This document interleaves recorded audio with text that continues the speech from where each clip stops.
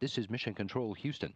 The Expedition 30 crew on board the International Space Station is uh, wrapping up a long weekend off duty in observance of the Russian Christmas holidays. Uh, each of the crew members has had some exercise uh, sessions scheduled for the day today, as well as some experiment operations. But for the most part, they have been uh, taking it easy uh, throughout the entire weekend. On Monday, each of the crew members had their exercise sessions on the Advanced Resistive Exercise device uh, downlinked for review by specialists on the ground in order to verify that the crew members are performing the exercise properly and to evaluate the performance of the equipment. Uh, all of the uh, crew members, that is, except Oleg Kononenko, he will have his uh, ARED session downlinked on Tuesday. On Monday, Commander Dan Burbank had time for an amateur radio talk with a group of high school students who are at their school, which is just outside of Paris, while the uh, Russian crew members, Kononenko, and flight engineers Anatoly Ivanishin and Anton Shkaplerov provided video for a Russian television program, an educational program, which is known as Science 2.0.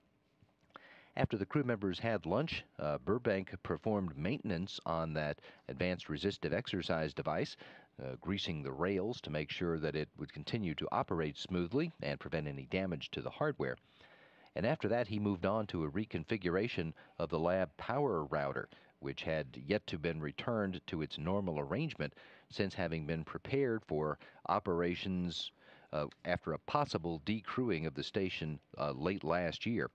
Now that uh, power router is back in the proper configuration for uh, backing up or for allowing the robotics workstation to be used as a backup in operations during the first demonstration flight of the uh, Dragon, the commercial cargo vehicle, which remains targeted for a launch to the International Space Station next month.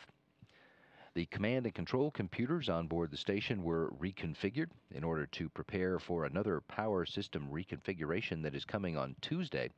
On Tuesday, the crew members will remove a power jumper that was installed to allow for continued ground control of the station if one of the main bus switching units failed while the station was de- being, uh, well, it was operating without a crew on board.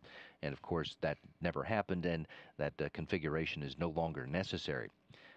On Tuesday, the crew members looking forward to a full workday, which will include more human life sciences experiment operations more video downlinked for the Russian TV science program. Crew members are still doing some handover operations, briefing the uh, three newest crew members on station operations. Along with those additional power reconfigurations we mentioned, Flight engineer Andre Kuipers has a, a, weekly conference with ESA officials. He will also uh, take time on Tuesday morning, just before 9 o'clock Houston time, for a conversation with the Prime Minister of the Netherlands.